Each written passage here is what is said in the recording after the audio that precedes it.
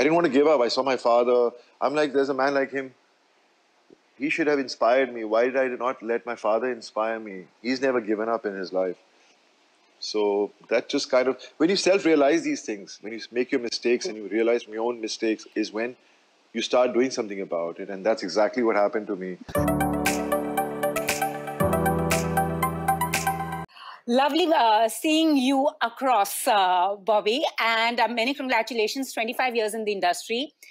It's been 25 years since you made your debut. You're also making a debut of sorts on the digital uh, platform with Class of 83 in a never seen uh, avatar. I have never seen you play, you know, the, the role that you're playing in this one. So, how, how does it feel? I'm really excited. I'm, I'm like really, really excited because it's been 25 years, which have passed by so fast, you don't even realize. You're like, my God, 25 years. But it doesn't matter. Time is just a number. Age is just a number. and I'm just excited that I've. Uh, this is my debut on OTT platform with Netflix. Really excited because, uh, you know, as an actor, I've been looking for characters which would really get me excited as an actor to play, and uh, also because I had made up my mind. It's not just the mainstream kind of characters I would like to play. It doesn't matter if I'm the main lead of the of a script or if I am just a, a character. I was just looking for good characters to play basically, where when you watch a film and you come out, those characters stay with you. You know, you, they always are a very important part of the narrative. So, and also uh, Red Chillies, I mean, Shahrukh's company, Gauri, Shahrukh, and Gaurav so this whole team together, I mean, Netflix and Red Chillies together was such an excitement for me. I still remember the first day when I met them and I, when I heard that they were doing this and they were thinking about me. I was really excited. But at the end of the day, it was always a script that mattered to me. So when I read the script, I was like, this is something I was actually looking for to play as a character. You know, something which was a strong character, which had such good shades to it, depth in him, and uh, the whole journey of the character, how he is, what he goes through, his his own pain, his own misery, and how he tries to fight the system and achieve what he wants, and written in a nice way, you know, in a very realistic way, because this is a character which you can actually identify with when you meet people. You know, sometimes you're stuck at an airport or a railway station, you encounter some you know strangers and you start chatting with them and you see what their lives is all about you know you just realize okay, yeah, you thought that this was always okay for you or not good for you, and how they go through these things.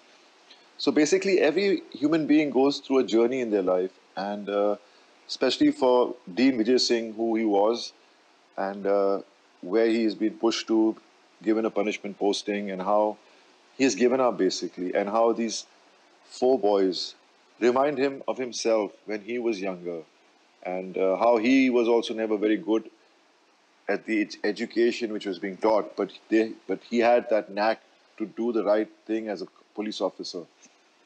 So that's how he, you know he tries to restart his life. You know, he wants to give himself a aur mauka that wo aage sake. So that's what was so exciting about this script. And then just the other characters played by the boys. You know, it was just a great combination working with these young boys who are straight from theater and who was who who have a different approach towards acting. So it was it was really exciting working on this project. It basically, I was you know I just was for the first time in my life in not in a very out of my comfort zone because I have always played characters which were given because according to your image. So it was always easier to play those kind of characters. But playing something like this was was kind of tough in the beginning, but it just started flowing eventually.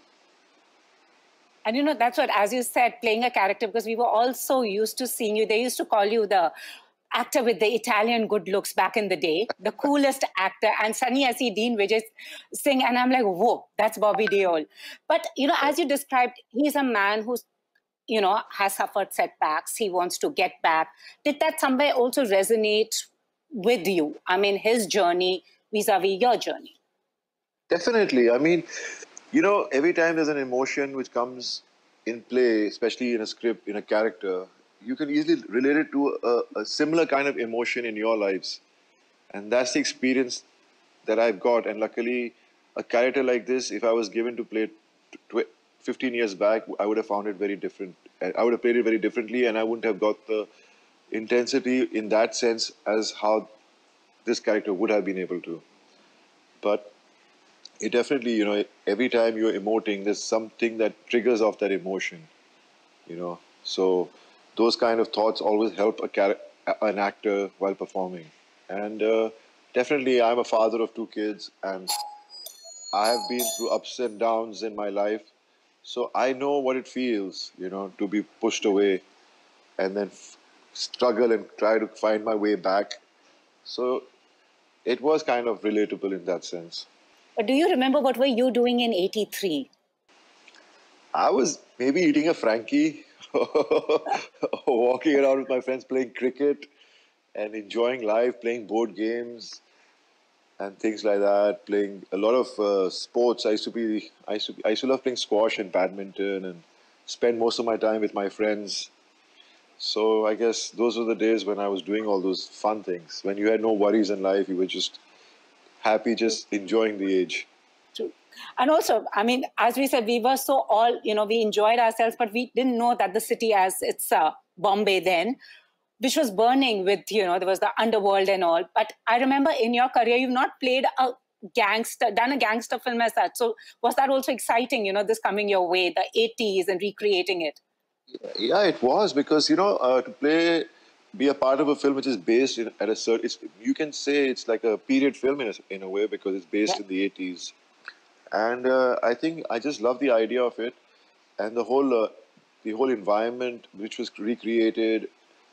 It was so exciting because I love the eighties. I grew up in the eighties. For me, seeing the moment like the, those days the way people were and the way they dressed up there was so simplicity in everything there was there was no uh, corruption in that sense mentally but there were other evil people around which could easily take advantage of the normal people. And that's what was happening because that time it was the beginning of all those things. You know it was peaking. Gang- gangsters were peaking at that time the underworld and things like that. And i still remember I, I have led a very sheltered life, so I was never allowed to go out of my house after six o'clock. In fact, when I was talking about going to eat a Frankie, I wasn't even given pocket money to go eat Frankie. I was supposed to come home and eat. but those were the days where all this was happening, and uh, it's always been very fascinating.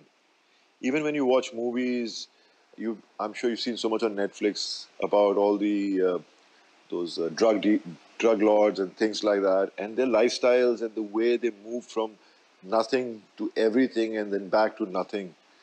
So it was always interesting, intriguing, and you always want to be, you know, you always want to see it visually, you know, rather than reading a book about it. So I think it was very exciting for me that I was going to be part of a film class of 83 which is going to be seen by people and they they'll get a chance to see that period in which they have missed or the period they've grown up in because the the young generation and the older generation who've seen it and the younger generation who've only heard little bits and pieces from here and there so i think it's a great great script. So what would Dean Vijay Singh tell your character Badal from Barsaat if they were to meet? he would just say I, I want to recruit you. I want you to come and work for me. You have the capability. You're badal. You, you're the mountain boy. You can climb up mountains. You can climb up anything and you can fight the wrongdoers. But do you like that. remember anything? Any memories come back from Barsaat? See, because when you made your debut, I remember there was an announcement in, you know, the dailies. Uh, you, you got Filmfare and Stardust, and there was a picture of you and Tina. Barsaat coming. There was no social media, no promotions then. Do you remember what was it like back in the day, or do you feel it's easier now?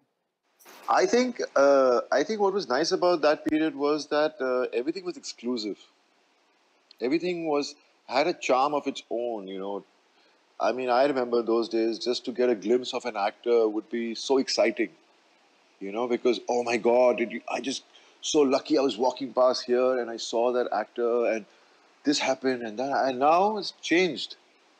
You know, now it is like you have to talk about yourself all the time. Yeah. You have to keep posting on Instagram, on Twitter, or other ways of doing it. So things have changed. That that stardom which you felt in those days was totally different from what it is now. But yet again, this is the new age. So this is how the new age reacts to things, and this is what is what stardom means to them. If you you're spoken about by speaking about yourself and being seen more more than you I mean more than what they want to see you just be seen all the time. So I've seen when I started my career, it was a changing times. You know, it was changing towards this system. So I never got used to that system. I never got used to this system, which is existing. So it's always been a little uh, difficult journey in that sense. So now I'm trying to cope up with social media, and I had to create a Instagram. I had to create a Twitter account because there were a lot of fake Bobby Deols on tw- Twitter, especially, who would write any kind of rubbish, and people used to believe that it's Bobby Deol saying all those things. So for that reason was one of the main reasons why I started it. And now, obviously, the, this is the new way of uh, promoting the work you do, and the people are so used to seeing people's work through this. So I guess it's fun. I guess it's the new norm for now. So you, I mean, have been a cliffhanger of sorts. Now that was that time was changing. This time is changing, but you know, but you also took did something which actors today will say it's rash. You took a self-imposed exile as well from acting. You gave it a ah. break. I actually uh, went through a bad time in my life those days. I uh, wasn't getting the kind of work I wanted. Then uh, I started blaming the world for that. I started uh, saying that, oh, because they don't care about me and all those silly things, started pitying myself, I think, more than anything else. Mm and obviously alcohol come played a bad role in my life at that point. And uh, mm-hmm. things just took me away from the reality and the honesty of what i'm supposed to be doing. Till the day when i started noticing people around me my mother my father my wife my kids telling me don't worry everything will be fine. My son coming up to me and telling me papa don't look sad. It's, why are you sad? Be fine. My, my wife my dad and you know जो होता है अच्छे के लिए होता है सब अच्छा हो जाएगा but the thing is that's when I realized, looking into their eyes, that they love me. They would want to do the world for me, but they can't. It is me who, who has to stand on his two feet and do things for myself. And that just kind of, uh, it was just like a, I just snapped. And I suddenly overnight started to change myself and uh, started looking towards being more positive, trying to work at the way I was looking because I started looking like something else. And uh, I didn't want to give up. I saw my father. I'm like, there's a man like him. He should have inspired me. Why did I not let my father inspire me? He's never given up in his life.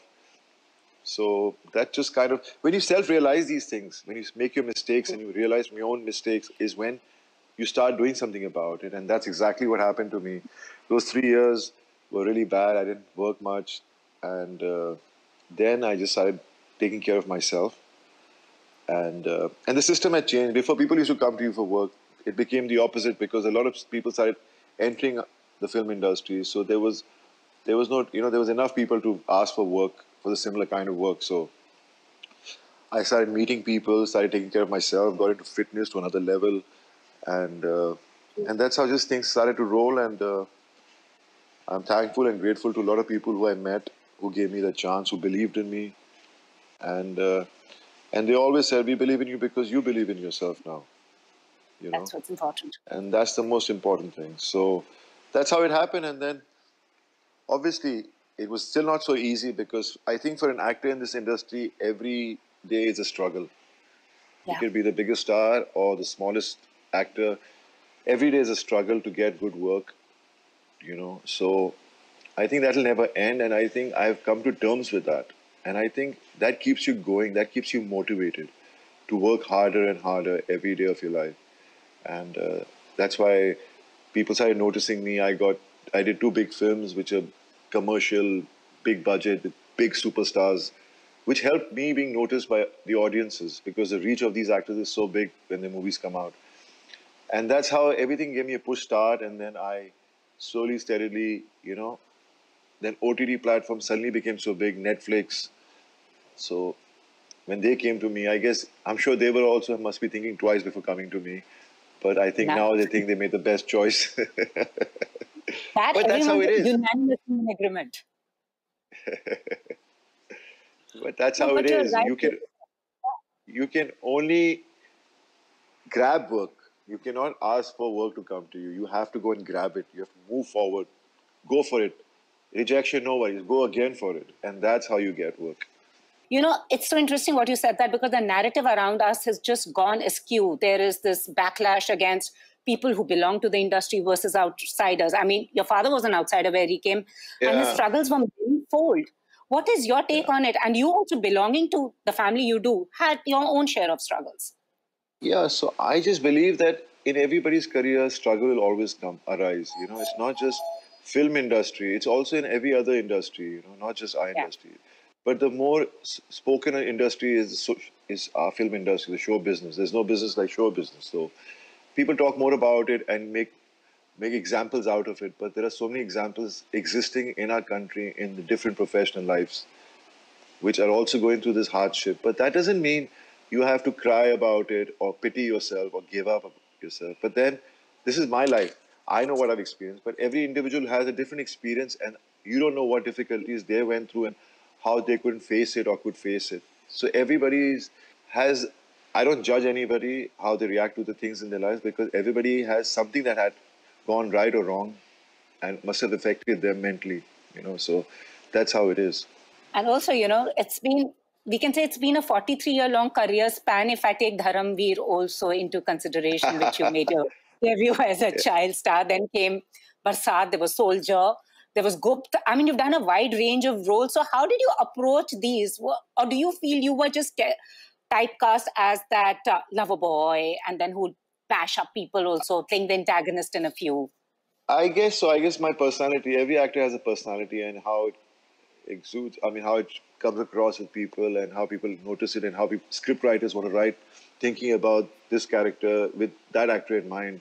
So those were the days it was happening like that. But now a lot of actors are surprising writers because writers write it with someone else in mind and they get a, a different actor and they actually play the part so nicely. So things have changed so much now.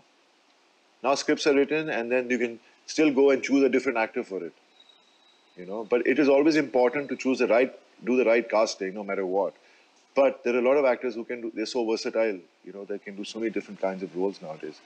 And that's so nice to see that change. And that's what I've been trying to work on even now. And uh, that's why, luckily, I got to play Dean Vijay Singh. And it's very different from anything I've done. So, really excited. That's awesome. And amongst your filmography, which is uh, the, I know they're all special to you, but which is the one that you fondly remember when you look back, or which was most challenging and you felt that maybe, hey, this is not for me? I think Dillagi was always going to be the closest to my heart because I think my brother got the best out of me as an actor. He gave me an amazing role in that film. The film didn't do well at box office, but till date, whoever sees it or talks to me about it, they say we loved your performance in that the most. But besides people telling me that, it's my own thing which I like the most. You know, it's the most special to me. And also, a lot of heroines made their debut opposite you. There was Preity, there was Neha, Yeah. and you know, Yeah, there was. Aishwarya as well. So you were, the, and also now there are whole young stars making their debut. So you are actually the lucky mascot. I don't know. I hope I wish them luck, and uh, I hope I'm lucky for them. And uh, I don't know. I mean, I those days, yeah, I did a lot of act- work with a lot of actors who are starting their careers off. So I, I guess I'm kind of I understand how to interact with them and to make them feel comfortable.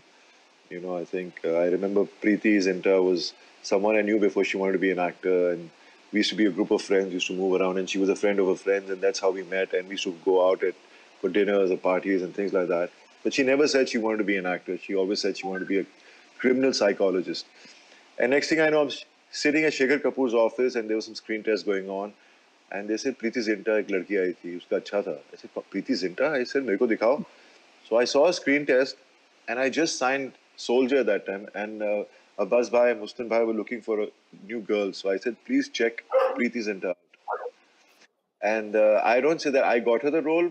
I think it was her capabilities that got her the role. But at least uh, I brought her to their notice at that point. Thank you so much for talking to us. And lastly, what advice would you give your 20 year old self today in retrospect?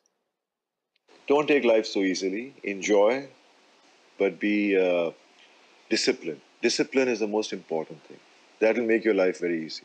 Thank you so much, and I hope to see you more. Uh, you know, play more roles like uh, Dean Vijay Singh. He totally, you know, has nailed it. Thank you so much. Thank you so much. Take care. Thank you. You too. Bye bye. Bye. Bye.